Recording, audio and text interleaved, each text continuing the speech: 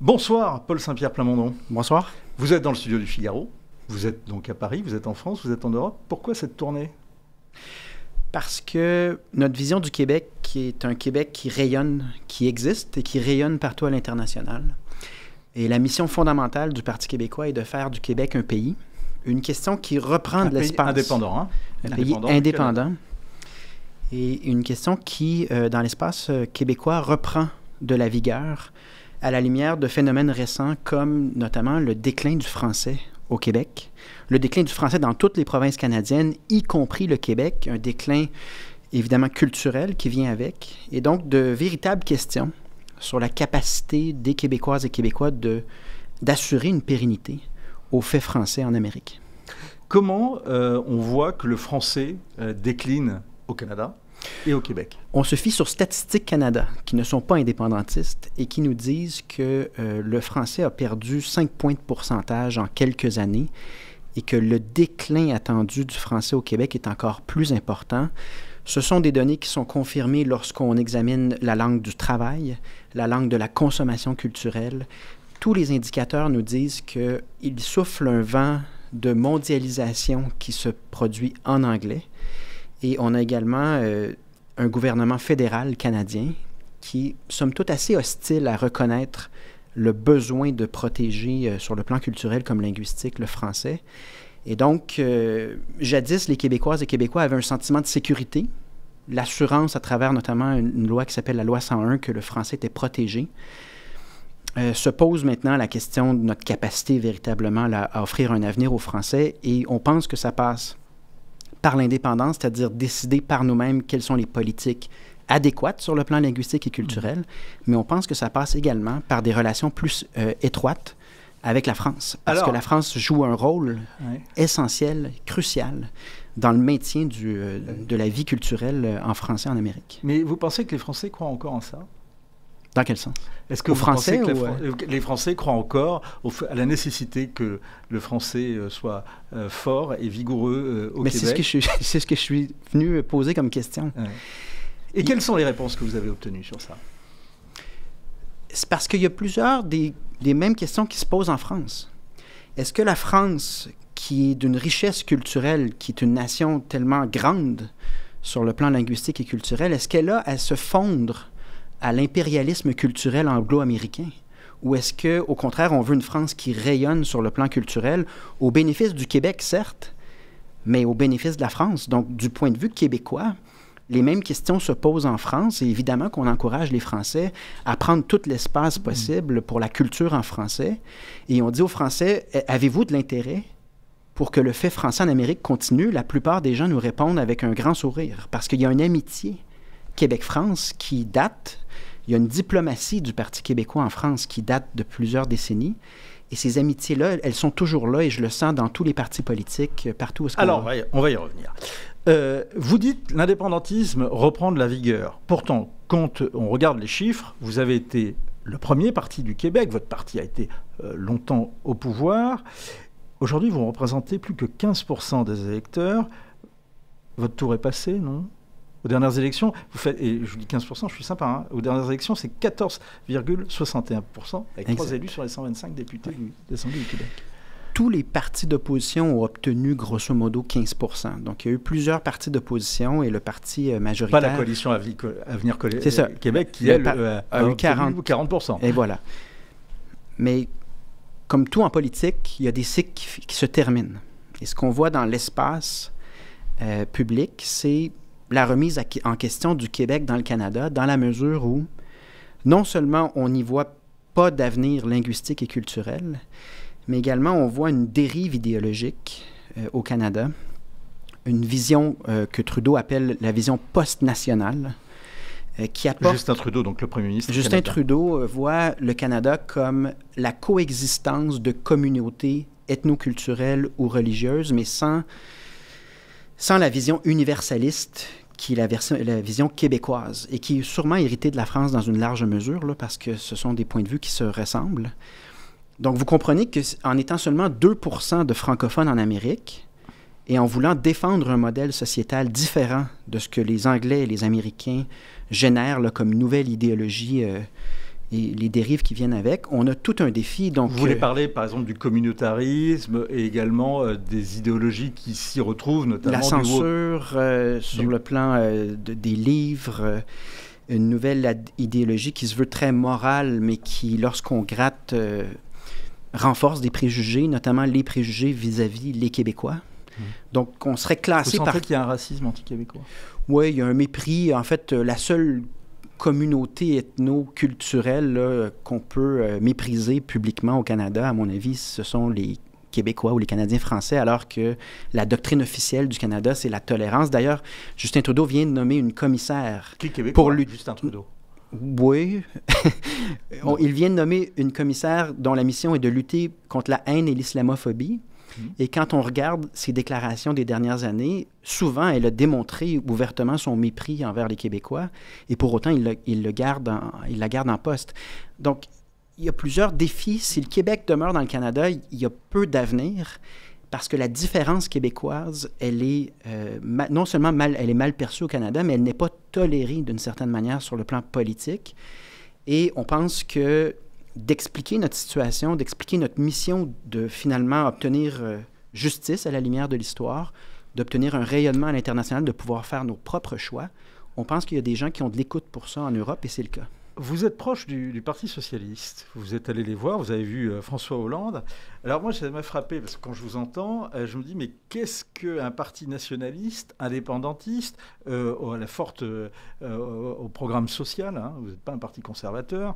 vous avez de commun avec un parti comme le PS, qui est un parti européiste, qui a combattu la souveraineté et qui est converti au libéralisme et plus le, plus, plus le mandat de, François Hollande est avancé, plus il, est devenu libéral. Donc euh, vraiment, euh, pas du tout sur les mêmes, euh, sur les mêmes thématiques que, que les vôtres. Qu'est-ce que vous avez encore à vous dire? Plein de choses. Il y a une amitié puis une collaboration de, un dialogue qui, remonte à notre fondateur René Lévesque. Puis c'est pas du tout un, dialogue de sourds parce que les politiques sociales, socio-économiques du Parti québécois sont véritablement social-démocrates. Hmm. Et en effet, c'est vrai, puis ça, fait en sorte, notamment, on parle également aux républicains, on, parle à, bien des gens, là, une fois qu'on est en France, on a une composante d'État-nation qui s'affirme, en effet, hmm. euh, d'un drapeau québécois qu'on veut voir flotter partout dans le monde. Donc, il y a un aspect également euh, de conception de la société qui croit que l'État-nation a un avenir et donc, euh, on parle, pendant qu'on est de passage... justement, le Parti socialiste est un parti européiste. Et le grand dessin de François Mitterrand, ça a été euh, l'Europe de Maastricht. Donc, c'est un, parti du dépassement de la nation. Qu'est-ce que vous pouvez avoir de commun avec le Parti socialiste? Mais c'est ça, on a en commun euh, plusieurs... une volonté de réduire les inégalités sociales. On, a, on est social-démocrate. Ah mais on parle à d'autres partis avec qui on a d'autres points en commun. Donc, il faut, faut, voir que le contexte politique est différent d'un pays à l'autre mm. et ça amène des juxtapositions qui ne sont pas les mêmes. Mais évidemment, lorsqu'on va à l'essentiel, à savoir, croyez-vous que la diversité culturelle que représente le Québec dans le monde mérite de survivre? Que pensez-vous de la possibilité que le Québec finalement s'affirme? On obtient des réponses positives tant au centre droit qu'au centre gauche. Qu'est-ce que vous a dit euh, sur ce plan-là François Hollande et Boris Vallaud que vous avez rencontrés? Sur quel point? Sur le point justement de, de la nécessité d'avoir un Québec indépendant. C'est-à-dire que dans cette première tournée, parce qu'on veut réactiver la diplomatie indépendantiste, on parle de notre situation, puis on répond aux questions quant à l'état de la francophonie au Québec et quant à l'état des relations Québec-Canada. Et, donc, notre but, c'est pas d'obtenir euh, un engagement ou une déclaration de quiconque, mais bel et bien de sensibiliser euh, plusieurs Français qui aiment le Québec au fait que le Québec a un avenir sombre devant lui s'il demeure dans le Canada. Et donc, euh, c'est une première étape, renforcer des coopérations, des amitiés qui euh, sont importantes pour nous. Redonner de la vigueur à l'indépendantisme, c'est ce que vous nous dites depuis le début de cet entretien, Paul Saint-Pierre Pardon.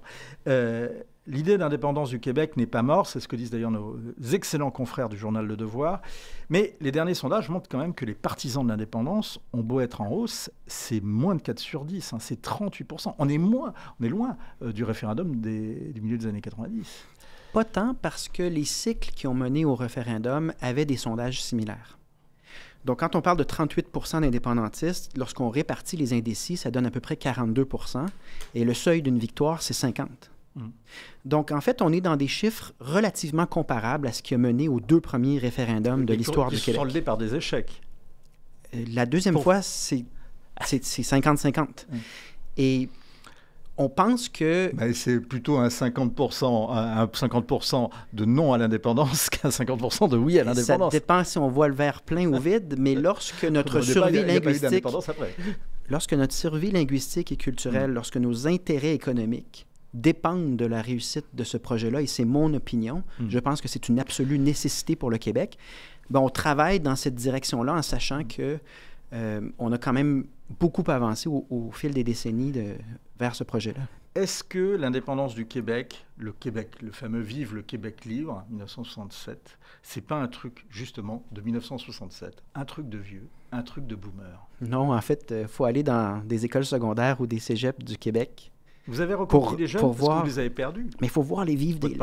Vive le Québec libre, ça existe dans les cégeps aujourd'hui. C'est indélébile. L'œuvre du général de Gaulle est gravée au Québec parce que une nation euh, qui est euh, très liée au Québec nous dit on vous encourage.